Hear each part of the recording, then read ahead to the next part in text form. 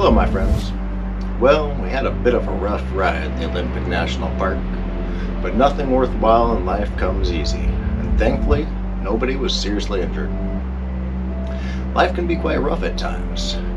We each have our own unique and personal challenges to overcome. During the tough parts, it can seem like nothing will ever get better. And when we're in that state of mind, it can be the worst thing in the world.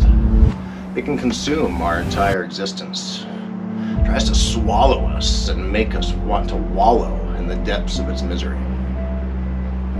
If you know me, you know I'm someone who suffers with chronic pain. And I think it's important to remind ourselves during any rough time that while life can be hard, what will come from that battle is something that will change the way we view the world. The depths that we are flung and the struggle to get back out is what gives appreciation the heights we can climb to.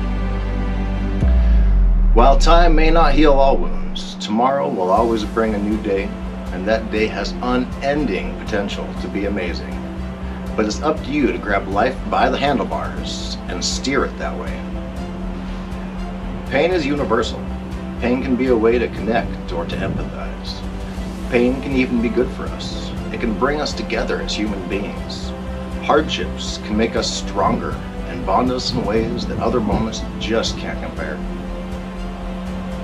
My friends, these moments are what dual sporting is all about.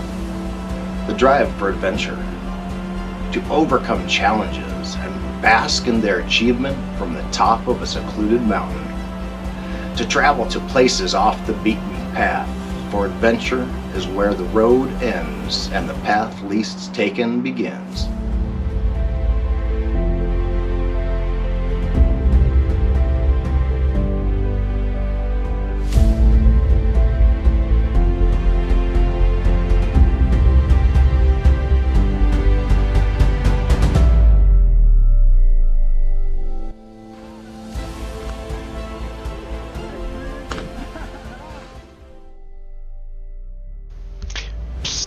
Hey, you. I'm just starting off this whole YouTube journey, and I could sure use your opinion. So, what do you think? Should I keep producing content? If so, hit that sub button and let me know.